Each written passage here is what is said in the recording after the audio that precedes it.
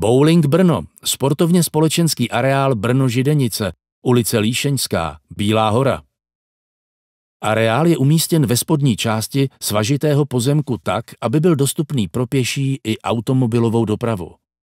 Vlastní objekt s jedním nadzemním a jedním podzemním podlažím je kubického tvaru a je zastřešen rovnou střechou. Motem projektu je funkčnost na prvním místě. Celou stavbu ale nejlépe vystihuje slogan investora. BBčko to není jen bowling. Kromě 20 nejmodernějších bowlingových drah zde najdeme například kurty na beach volejbal, unikátní adventure golf s 18 jamkami, multifunkční konferenční sál, venkovní šachy nebo knihovnu.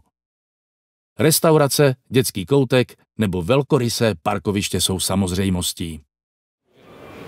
Projekt Bowling Brno je naplnění a zrealizování mého dlouhodobého snu.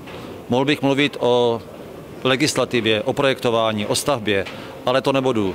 Mohl bych mluvit o interiéru a všech jeho souvislostech. Taky nebudu, to se přijďte podívat sami. Mohl bych mluvit o venkovních prostorách, o beach volejbalu, adventure golfu, ale taky nebudu. Chtěl bych říct jen dvě základní věty.